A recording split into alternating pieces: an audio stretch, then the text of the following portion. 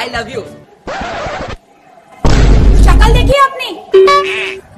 कम से कम मैं ये चेहरा छुपाने के लिए तुम्हारी तरह मेकअप नहीं लगाता